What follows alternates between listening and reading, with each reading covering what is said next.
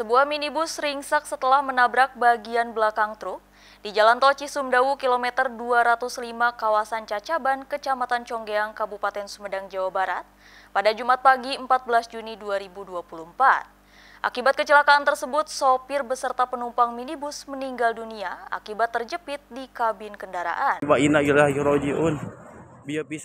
Berikut ini merupakan video amatir yang memperlihatkan sebuah kendaraan yang mengalami kecelakaan lalu lintas di Tol Cisumdawu pada Jumat pagi 14 Juni 2024.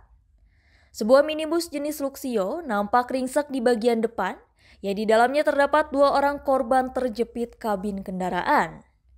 Peristiwa kecelakaan tersebut diketahui terjadi di Jalan Tol Cisumdawu kilometer 205, kawasan Desa Cacaban, Kecamatan Conggeang, Kabupaten Sumedang. Kanit PJR Tol Cisumdawu menyebutkan, Kecelakaan terjadi saat Luxio bernomor polisi D1540YBK melaju dari arah Bandung menuju arah Kertajati Majalengka.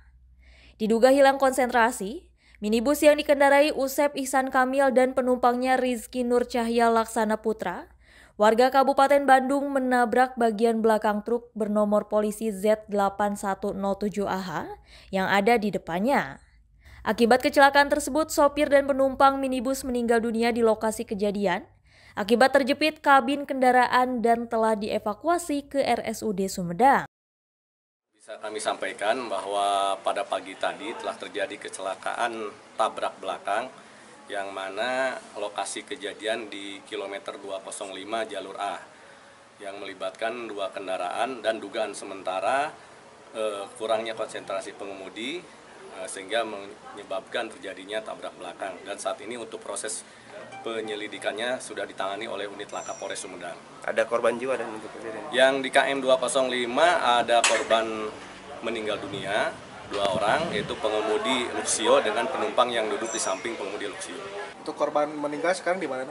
Udah dibawa ke RSUD Sumedang. Ya, dan udah ditangani oleh unit laka Polres Sementara dua kendaraan yang terlibat kecelakaan telah diamankan dan kasus kecelakaan tersebut kini dalam penanganan unit Gakum Satlantas Polres Sumedang. Usep Adi Wihanda, SMTV Sumedang, melaporkan.